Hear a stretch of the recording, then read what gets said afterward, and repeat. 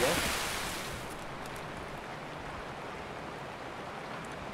I think there's someone already up in here.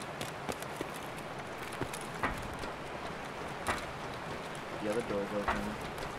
Yo, is someone in there? I'm just here for the quest.